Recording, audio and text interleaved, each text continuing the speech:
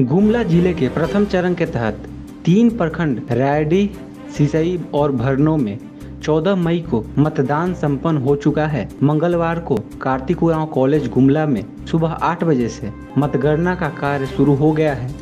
मतगणना कार्य को लेकर सुबह 6 बजे से प्रत्याशियों और समर्थकों की भीड़ कॉलेज परिसर में देखने को मिली और चुनाव से पूर्व भी प्रत्याशियों की दिल की धड़कनें तेज हो गई हैं। वहीं काउंटिंग से पूर्व गुमला के उपायुक्त, पुलिस अधीक्षक सहित अन्य अधिकारी मौके पर पहुँच चुके थे।